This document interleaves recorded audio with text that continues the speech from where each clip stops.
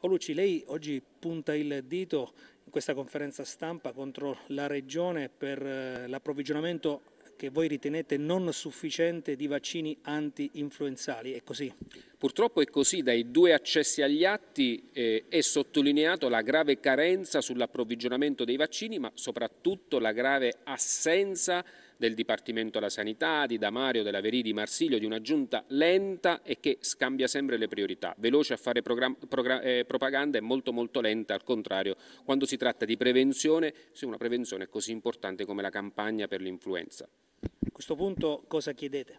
Ma noi abbiamo voluto denunciare questa gravissima assenza da parte di, della programmazione regionale perché mancano all'appello 216.000 dosi ed è molto importante in questa annualità, con la riapertura dell'anno scolastico, evitare la sovrapposizione delle due patologie, ovviamente quella dell'influenza e quella del Covid. Ecco perché è ancora più grave che la regione Abruzzo sia tra le ultime in Italia rispetto all'approvvigionamento dei vaccini, in quanto l'accesso dimostra, l'accesso agli atti dimostra che la Regione si è mossa soltanto il 22 di luglio del 2020 quando altre regioni in Italia si sono mosse a marzo o ad aprile. È chiaro che quando poi siamo arrivati noi a chiedere ad approvvigionarci siamo arrivati con molto molto ritardo. Secondo voi c'è il rischio che alcuni abruzzesi possano avere difficoltà poi a vaccinarsi realmente? C'è il rischio che rispetto all'obiettivo che si è posto in tutta Italia il Ministero della Salute, la Regione Abruzzo sia fanalino di coda, perché poi a fine di agosto, e questo lo dimostra il secondo accesso agli atti,